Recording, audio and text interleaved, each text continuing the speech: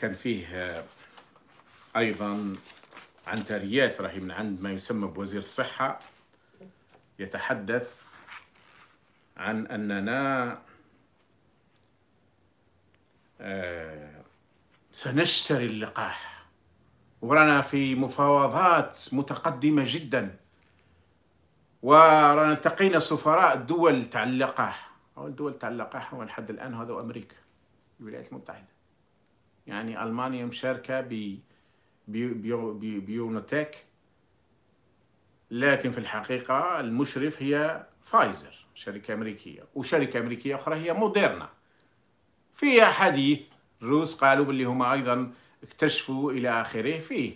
لكن اللي الناس ما اعتبرته صحيح أو على الأقل عنده هذه الشهرة هما فايزر ومع هذه الشركة الألمانية الصغيرة. أو المشاركة معها واللي الحقيقة لعبت دور أساسي في اللقاح لكن المشرف العام هي الشركة العملاقة فايزر. شركة الأدوية واحدة من أكبر شركات الأدوية في العالم. والشركة الأخرى أمريكية موديرنا. إذا مانيش عارف السفراء الآخرين ماش يدير معاهم. فرنسيس علاش السفراء فرنسا ولا بلجيكا ولا إيطاليا؟ ما عندهمش دخل هما في روحهم راهم باش يشرب ثم أن السفراء يا يا ما يسمى بوزير الصحة السفراء ما همش شركات تجارية. آه نعي أنا صحيح الموضوع هذا تاع كورونا دخلت في دول وأصبحت لكن في نهاية المطاف لازم تتفاوض مع شركة فايزر وشركة موديرنا إلى آخره. الشركات هذه اللي تنتج اللقاح.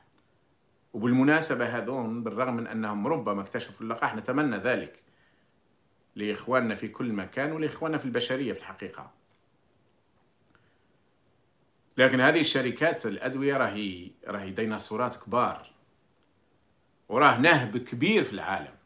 وراه معروفة المقولة يعني انشئ الفيروس ودير له الانتي فيروس معروف أن كثير من الفيروس اللي في الكمبيوتر مثلا اللي فيروس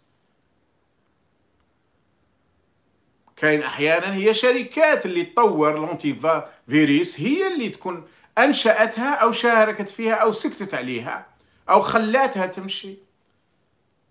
إلى آخره. مش كلها لكن جزء منها يعني. نعرف معروف. والشركات هذه تاع الأدوية أيضا عندها في هذا الموضوع يعني. في كثير من الحالات كانوا وهم مسيطرين على أحيانا مسيطرين على على بالأسماء مسيطرين على الأدوية ما يخلوش الناس يخرجوا بأسمائهم آه، أو يصنعوا تحت الأسماء المعروفة. واضطرت دول كثيرة بما فيها الهند اللي هي مشهورة في هذا المجال والصين أيضا إلى أنها نفس الدواء تعطي له اسم آخر باش تهرب من قضية الحقوق حقوق التأليف أو حقوق الملكية يعني. مع ذلك نقول لهذا الجاهل تاع وزير الصحة اللي كان ظل يكذب ويعطي التبون في المعلومات وتبون يخرج يقولوا إحنا مسيطرين والحال الوضع مسيطرين عليه وأنا نشوفوا الآن الأوضاع وين وصلت. نقول له أن التفاوض ليس مع السفارات. وأن التفاوض مش انت اللي تجريه المفروض يشروه يجروه خبراء خبراء في التجارة وخبراء في التفاوض وخبراء في التعامل مع الديناصورات وخبراء. أما أنت فرك قلت أشياء كثيرة كاذبة أو على الأقل خاطئة وخبراء في الصحة يعرفوا هذا ولعلي عشرات المرات ذكرت لك تناقضاتك وأكاذيبك. حكومة من الكذابين. مرة مرة يقول لي واحد أرك كل مرة لازم تواجههم وتجيب وش يقولوا وترد عليهم وهذا وش في فايدة أعطينا الحل في جهات أخرى. لا في مهم هذا يا إخواني. سقوط الدكتاتوريات يعني وشنو حاجة اللي تنهيها وشنو حاجة هو حين كشف أكاذيبها. حينما تكشف الأكاذيب والخدع والمكر تاع الأنظمة المجرمة ينتهي المفعول نتاعها آه صحيح إحنا راهي تقريبا شبه منتهي عند الشعب الآن. لكن يبقى أنه لا ديكونستريكسيون تاع الأكاذيب تحطيم الأكاذيب ومواجهتها واحيانا بوحدة بواحدة وهو ما يقوم به ويقوم به إخوان آخرين مهم ومهم جدا في هذه المعركة معركة الوعي.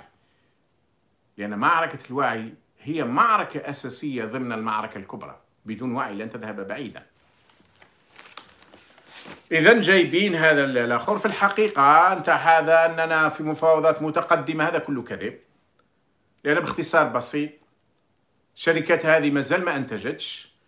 راهي قالت بأنها وصلت إلى الحل في حدود 90% أو 95% حسب الشركات. ولكن نحن نعرف أن القوى الغربية راح تبدأ بنفوسها. لا ترامب ولا بايدن راح يسمح لا الفايزر ولا الموديرنا ولا غيرها أن يخرجوا اللقاحات من أمريكا إلا بعد أن تكتفي الولايات المتحدة. ثم ما يسمى بحلفاء الولايات المتحدة. إذا بقات هذه الشركتين هم اللي خرجوا هذا الدواء. ثم دول أخرى تجي فيما بعد. حتى لا يستمر الكذب اللي راكم تمروا فيه في القنوات مثل الأكاذيب اللي كنتوا تمروا فيها وتقولوا الوضع تحت السيطرة ورانا مسيطرين على الوضع وكورونا سيطرنا عليه. وعندنا أفضل منظومة صحية في إفريقيا.